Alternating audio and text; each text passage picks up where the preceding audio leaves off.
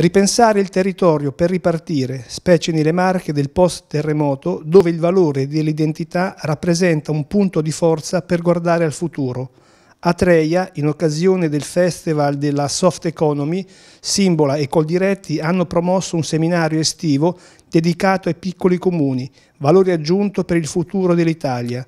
Una mattinata di riflessioni e proposte sviluppate sulla traiettoria delle identità della comunità e dei territori, dove, come nelle Marche, l'agricoltura gioca un ruolo importante. La correlazione tra agricoltura, agroalimentare, campagna, quindi piccoli comuni è una correlazione eh, sempre più viva e sempre più determinante per lo sviluppo della nostra regione. Nelle Marche i piccoli comuni sono circa 163 eh, e all'interno di questi piccoli borghi in realtà è racchiuso un patrimonio eh, ambientale, culturale, artistico, imprenditoriale di indiscusso valore. L'agricoltura da questo punto di vista ha sempre offerto un servizio eh, alle comunità che popolano questi piccoli comuni che spesso tra l'altro ricadono nella maggior parte dei casi nelle aree appenniniche che sono state duramente colpite dal sisma del 2016 e 2017 per cui le nostre aziende agricole hanno mantenuto comunque sempre vivi territori considerati marginali ma che in realtà sono assolutamente strategici e indispensabili non solo per la nostra economia dell'Italia centrale ma di tutto il Paese.